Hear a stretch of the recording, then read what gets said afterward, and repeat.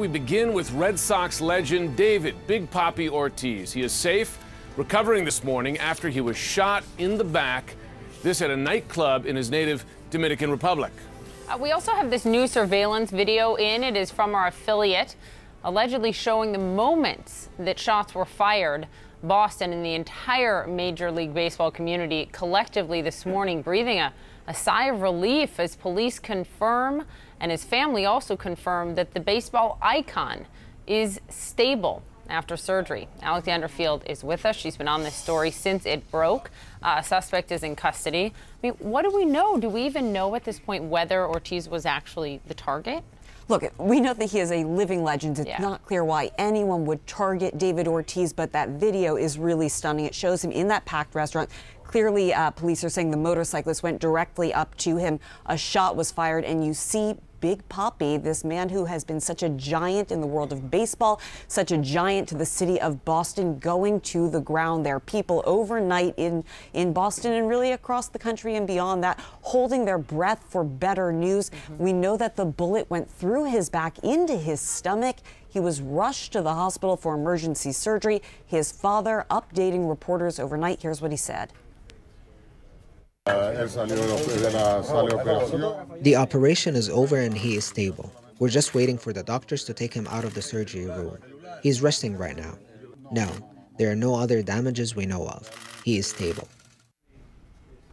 Several people suspected to be connected to the shooting have been taken into custody. One of them was actually taken to a hospital to be treated for injuries suffered after he was attacked by the group of bystanders that witnessed that really terrifying moment, Poppy. A completely terrifying moment, and we don't know anything else at this point about the suspect, do we? We, we really don't, and we don't know what could have motivated this. We know that police are waiting to speak to David Ortiz. That, of course, Sure. will depend on when he's able to do those interviews. Uh, but this is really a person whose impact you cannot. Uh, understate. This is somebody who has been so important, not just for his record in baseball, not just for his triumphs in baseball, but somebody who really helped to bring the city of Boston together after those difficult days of the Boston Marathon Yeah. bombing. You know, the sports teams in the city of Boston have this really uncanny way of pulling people together. Yeah. There were so many people overnight tweeting, putting out statements, really uh, pulling together and showing their support Right. for Big Papi. You remember he said in those in those days after the bombing, like our jerseys say Boston, right? They don't say Red They Sox. don't say they Red say Sox. Boston. We are the city, and we stand for the city. Alex, thank you for the reporting. We appreciate it, Jim. With us now to talk more about this, CNN sports analyst, sports columnist for USA Today, Christine Brennan. Christine, always good to have you on. Uh, j- just sad that this is the topic today. Uh, Poppy, Big Papi, he, he- he's such a beloved figure in baseball, in sports, in Boston. Uh, tell us about the reaction i- i- in the sports community today. Oh, it's it's been intense from the moment, uh, Jim, that the news hit last night, and the concern over would he be okay.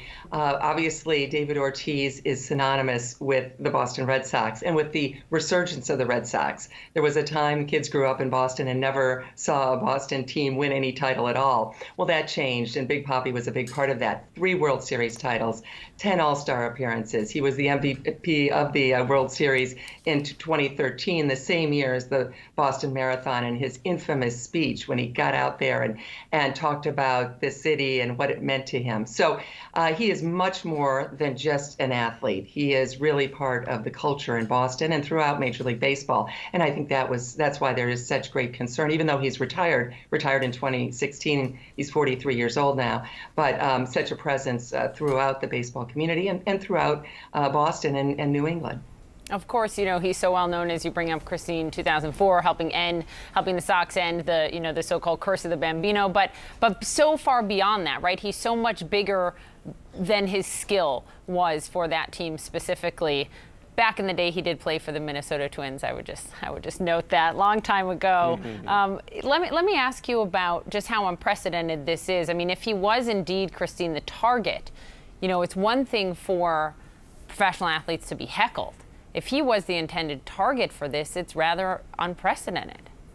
It is. Uh, more and more players are coming from the Dominican or Venezuela, other other nations that are known, um, certainly have their share, sadly, of poverty.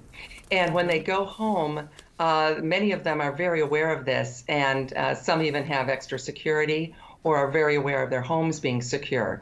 Um, it's a generalization. Nonetheless, it's an issue for, for athletes.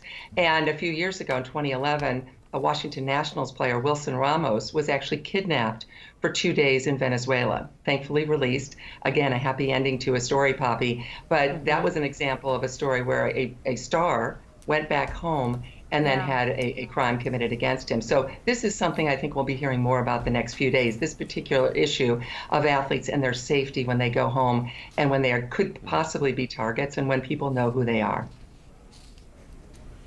Christine, is there any evidence at this point as to why he was mm. targeted and, and, so brazenly, right? I mean, in the middle of a crowd, right? Yeah, Jim. Well, when we don't know if, in fact, he was targeted, but it's certainly because of the Wilson Ramos story in 2011, and uh, because uh, athletes, my goodness, it's happened in the NFL as well, and and you hear a lot about athletes who have their friends and, and hangers on who want to be around them. I mean, that's a natural thing. It can be just, as you mentioned, it can be just uh, fans who want to be around someone, and it can be people with more nefarious uh, uh situations and maybe more ideas to do worse things. We don't yet know about this. my sense is we'll find out. But my sense is also today that there are athletes around the world who are very aware of their security. And even looking at it, we go back to Monica Seles and the stabbing and a tennis match in the 1990s, and Nancy right. Kerrigan, uh, obviously, and figure skating. These things do happen every now and then, and they are a wake up call, I think, for the entire athletic community to be more aware of their security.